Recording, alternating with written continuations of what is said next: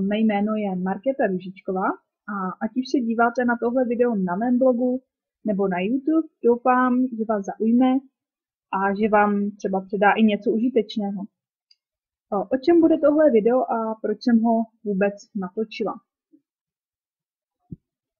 Nedávno jsem se pokusila přijít na to, co spojuje všechny nezapomenutelné příběhy. Určitě to znáte, přečetli jste spoustu knih, ale naprostá většina se vám vypařila s postupem času z hlavy. Pamatujete si jen, že jste četli knížku s takovým a makovým názvem a možná pár detailů, ale to je asi tak všechno. A pak jsou tu knihy, které vás pobaví, které vás dostanou, které vás natchnou a třeba vám dají i něco víc. O takových knihách bych v tomhle videu chtěla mluvit.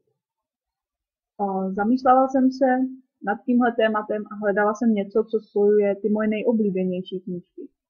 Proč se k ním ráda vracím? O, proč si vážím? Co mají oni a ty ostatní knížky ne?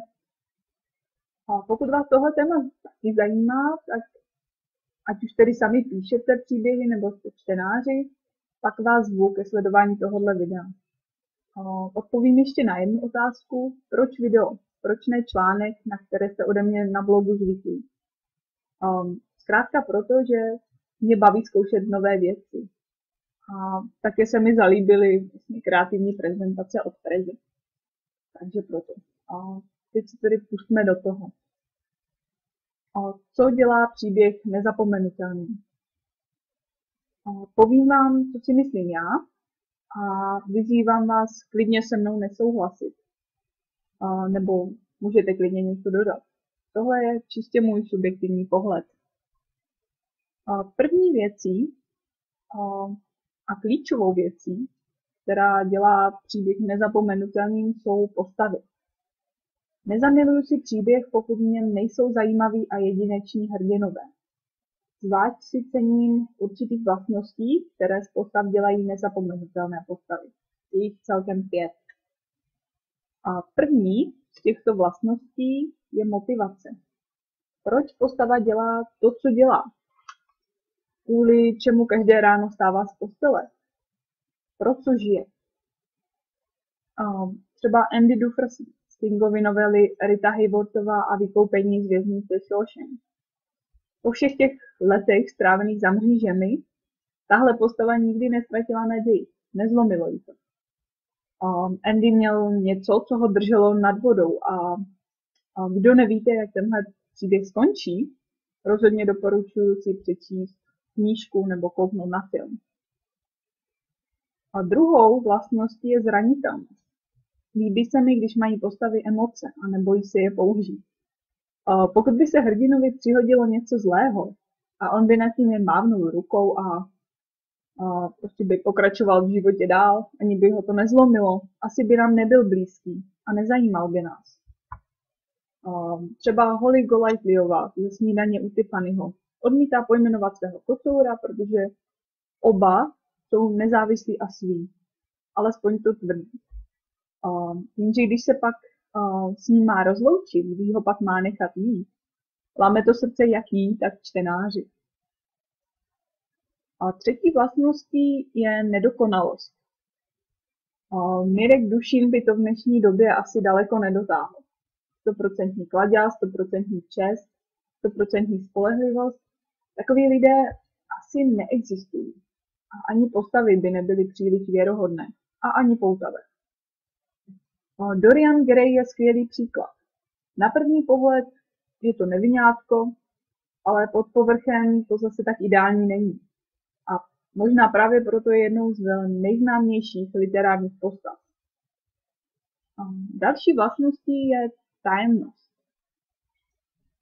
Hrdina nebo záporák, který něco skrývá, poutá naši pozornost a drží naše oči přilepené na stránce, jako na obrazovce. Vzpomínáte si na příběh třeba Severu se Snape'a? Jak jsme netrpělivě čekali na poslední díl Potrovské série, aby jsme se konečně dozvěděli, jestli je Snape fakt padouch, nebo ne. Nebo jak to s ním bylo. Poslední vlastností postav je osudovost. myslím, že ta dokáže příběhu dodat jedinečnost a atmosféru. No, třeba příběh Froda z Pána prstenů je skvělým pří, příkladem osudového příběhu. Co všechno musel Frodo vytrpět a překonat a jak se to na něm podepsalo.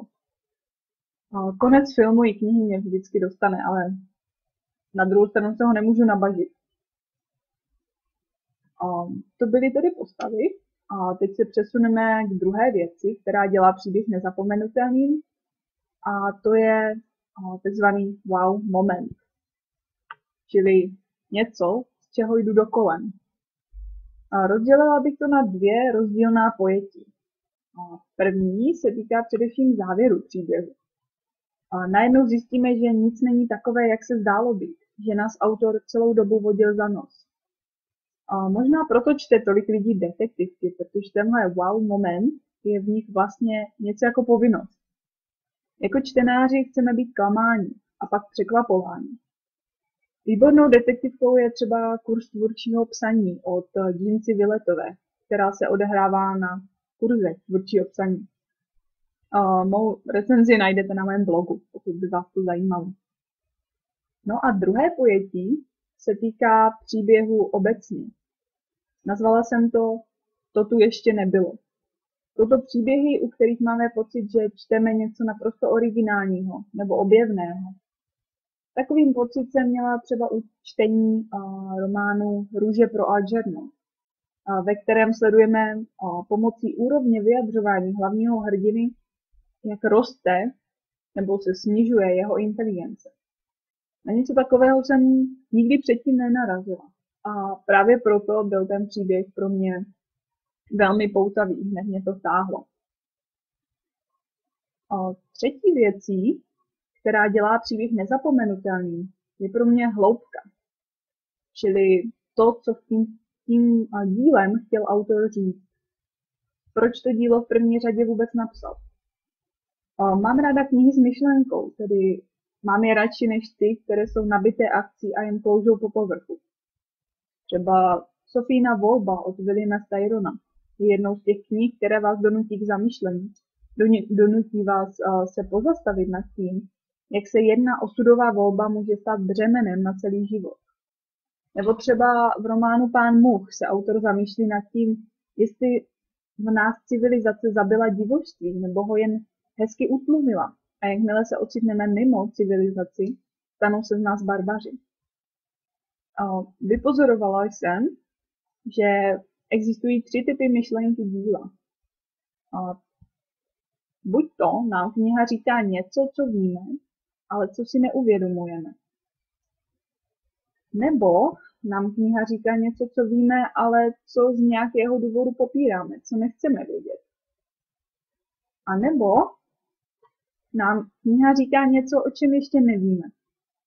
Pokaždé, ať už je to jakýkoliv z těchto tří způsobů, nám příběh něco předává. A pokud je ta myšlenka dostatečně silná, může se stát příběh nezapomenutelný. Um, to je tedy vše. V tomto videu jsem se zamýšlela nad tím, co dělá příběh nezapomenutelný. A teď by mě zajímalo, co si o tom myslíte vy. Líbilo se vám video? Souhlasíte se mnou nebo nesouhlasíte se mnou? Um, jaké věci nebo jaké prvky příběhu podle vás z něho dělají nezapomenutelný příběh? Dodali byste něco? Pokud ano, pokud k tomu máte co říct, pak vás vyzývám, napište mi, napište mi to do komentáře.